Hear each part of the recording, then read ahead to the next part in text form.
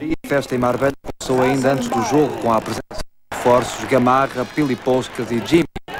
Os Leões não fizeram um grande jogo, mas criaram as primeiras situações de perigo, com Crepin a atrapalhar-se neste lance. O avançado croata ganhou depois uma grande penalidade. Foi carregado em falta dentro da área. O selecionador espanhol, assistiu ao jogo, viu Rui Jorge transformar o penalti no primeiro golo da partida e corridos apenas 5 minutos. Pouco depois, Gil não se podia ter estreado melhor ao empatar a partida na sequência de um livro. Peter Schmeichel sofreu o primeiro gol na baliza do Sporting no jogo que terminou empatado. As equipas notaram ainda alguma falta entre os amigos.